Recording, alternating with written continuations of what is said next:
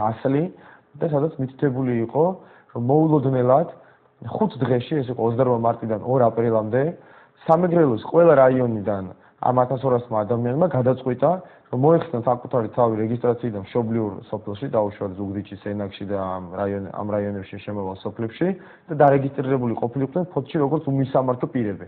ეს გაკეთა ძალიან მარტივი მიზეზით რომ ხელისუფლება იმ რეგიონებიდან სადაც მას არ ქონდა მხარდაჭერის პრობლემა, მაგალითად ზუგდიდი, სენაკი, მარნეული და ასე შემდეგ, მოხსნა ეგრეთ წოდებული ზედმეტი ამორჩეველი და მიამაგრა ქალაქების იმ უბნებზე, სადაც მას ქონდა პრობლემა, თბილისი, ფოთი, ქუთაისი, ბათუმი, ამ ყველაფრის შედეგად შესაძლებელი გახდა თითოეულ საარჩევნო ოლქში ათასობით ამორჩევლის მობილიზაცია. ფოთში ეს იყო 1200, ამაც იმოქმედა გადამწყვეტი ზეგავლენა.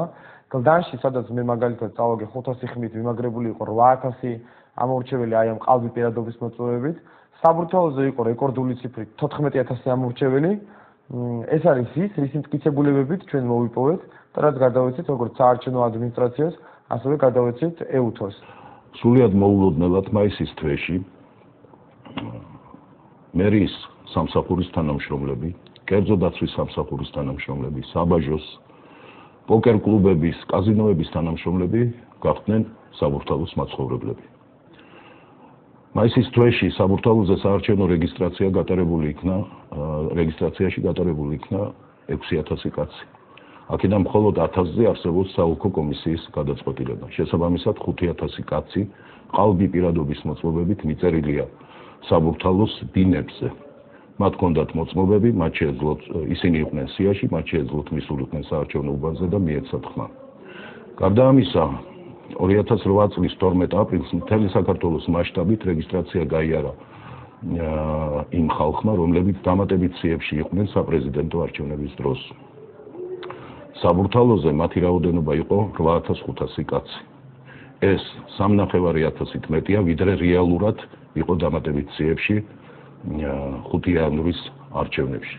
თუ ამას დავამატებთ იმასაც, რომ თითოეულ უბანზე საშუალოდ 20-დან 40 კაცამდე ოპოზიციის მხარდამჭერი ვერ იძლეოდა ხმას, იმიტომ რომ რატომღაც აღარ აღმოჩნდნენ არჩევნების დღეს სიაში, მივიღებთ რესურსს, რომელიც გამოყენებული იყო კონკრეტულად საბურთალოზე სახელმწიფო კანდიდატის გამარჯვების უზრუნველს საფუძვლად. მე ეს ყველაფერი შემიძლია გეჩვენოთ კომპიუტერზე. აქ თქვენ ხედავთ აა 1 მაისს გატარებული ამომრჩევლების სიას, ეს არის დაახლოებით 3000 კაცი. შემდეგ 4 მაისს, 5 მაისს, 11 მაისს და 12 მაისს აა რეგისტრაციაში გატარებული ამომრჩევლების სიას, როგორც გითხარით, საულკო კომისიამ გადაწყვეტილება მხოლოდ 1000 კაცზე მიიღო, აკი 6000 კაცია. სულ. თავსაჩინო ტენდენცია, რომელიც გამოჩნდა არჩევნებამდე 2 დღით ადრე, მე რაც თელავში აღმოვაჩინე უცებ, როდესაც 6 საათი სრულდებოდა, აღმოჩნდა, რომ ეგრეთ წოდებულ გადასატან ყუთზე მიმაგრებული სპეციალური სიები იყო ძალიან გაბერილი და პრაქტიკულად შეიძლება ითქვას თელავის რაიონში მე პრესკონფერენციაც მოვიწვია და განაცხადა ეს ჟურნალისტებისთვის რომ დაახლოებით ამომრჩეველთა 15-20% ავათ იყო გამხდარი. ჩვენ ამის თაობაზე შევამოწმეთ მასალა, გადავამოწმეთ ერთი რომ ეს ადამიანები ჟურნალებში არ იყვნენ გატარებული, მერე მეორე ამ სიებში შეყვანილი იყვნენ საკუთარი განცხადების საფუძველზე. და ეს განცხადებები ხშირ შემთხვევაში ერთი ხელით იყო დაწერილი, ისეთი ადამიანები, რომლებიც საქართველოსში საერთოდ არ იმყოფებოდნენ იმ დროს, ამ სიაში შეყვანილი იყვნენ ადამიანები, რომლებიც თვითონ იყვნენ გაკვირვებული, როდესაც მოვიკითხეთ, რომ ისინი არანაირად ავად არ არიან და არანაირი პრობლემა არ აქვს შექმნილი, რომ მივიდნენ საარჩევნო უბნებში და საარჩევნო საინტერესო უბნებშივე მისცენხმა და იყო პრაქტიკულად ისე რომ ადამიანები რომლებიც გადასატან ყუთებთან მიმაგრებულ სიებში იყვნენ მოხვედრილები ამავე დროს ისინი ჩვეულებრივ სიებშიც ირიცხებოდნენ და ეს იყო კიდევ კარუსელის შექმნის ერთი ძალიან ცხადი და ძალიან სუყე შემთხვევა. მე როდესაც გადავამოწმე მე ცენტრალურ შტაბში დავრეკე და ვითხოვე რომ შეემოწმებინა სხვა ქალაქებსა და რაიონებში როგორი ვითარება იყო, აღმოჩნდა რომ ერთბაშად საქართველოში იფეთქა დაავადებებმა და ეს გადასატანი ყუთებთან მიმაგრებული სიები იყო ძალიან უზომოდ გაბერილი და მე მაშინ თქვი კიდეც რომ ეტყობა საქართველოში იფეთქა ნაციონალურმა ეპიდემიამ და ვერაფერი გაგვიგია ამის თაობაზე მეთქი. არჩევნების წინა დღეებში ხალხი გაოცებას ვერ მალავდა იმის გამო, რომ მათ ბინებში უამრავი უცხო ადამიანი აღმოჩნდა მიწერილი. ამასთან სიები კვლავ სავსე იყო გარდაცვლილებით. საზღვარგარეთ საცხოვრებლად თუ სამუშაოდ წასული ადამიანები. ნელაძე ლევანი არ ცხოვრობ ჩვენებაში მე ცხოვრობ 74 წელი ნამეზოში და მე 10 წელი არ მაქვს სოლორაია თეიმურაძე arte sarko soloraia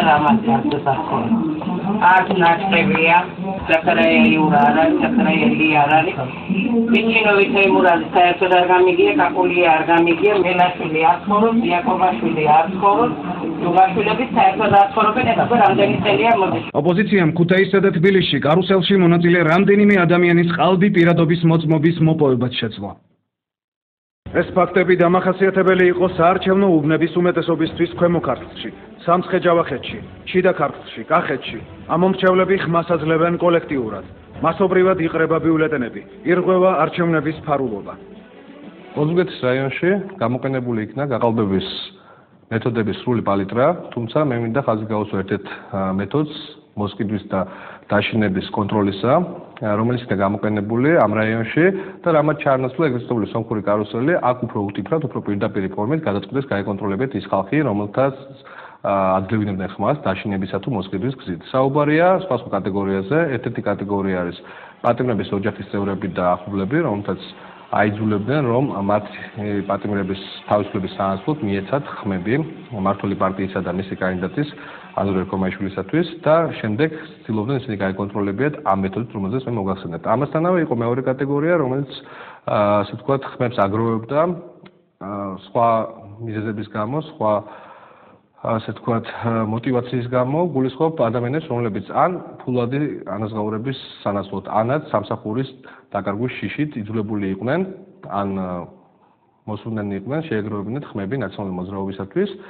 ამ ორ კატეგორიას ამოწმებდნენ ერთაიგივე მეთოდით ეს იყო განსხვავებული ფერის პასტის გამოყენება რომელიცაც ხდებოდა შემდგომში უკვე დათვლის პროცესში გაკონტროლება იმისა თუ რამდენად შეასრულა ამა თუ იმ ადამიანმა ამა თუ იმ საარჩევნო უბანზე მიცემული დავალება.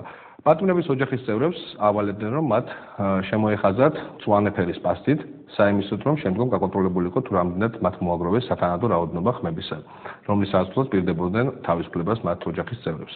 ხოლო მეორე კატეგორიას წითელი პასტის გამოყენებას ავალებდნენ. ეს მეთოდი იყო მასიურად გამოყენებული თითქმის ყველა უბანზე დიდ ნაწილ შემთხვევებში დაფიქსირებული არის კიდევაც საჩივრებში ეს საკითხი. ქობულეთში ოპოზიციის ხელში აღმოჩნდა სტამბური წესით დაბეჭდილი ყალბი ბიულეტენებით აქციონების დროს გამოვლენილ დარღვევზე დღეს მემარჯვენე მანანა ნაჭყებია და გაერთიანებული ოპოზიციის ქობულეთის მაჟორიტარი დეპუტატობის კანდიდატი მირზა მსუქნიშვილი საუბრობდა. ოპოზიციის წარმომადგენლებმა დარღვევების სამსახური ფოტო და დოკუმენტური მასალა წარადგინეს. მირზა მსუქნიშვილი ქობულეთის საერთო უბნების მონაცემების ხელახალ გადაცვლას ითხოვს. მანანა ნაჭყებიას თქმით კი გაერთიანებული ოპოზიცია დარღვევებთან დაკავშირებით სპეციალურ ფილმს ამზადებს. ეს ბიულეტენები ამოგებული არის ერთ-ერთ უბანზე. ეს არის მე-15 საარჩევნო უბანი.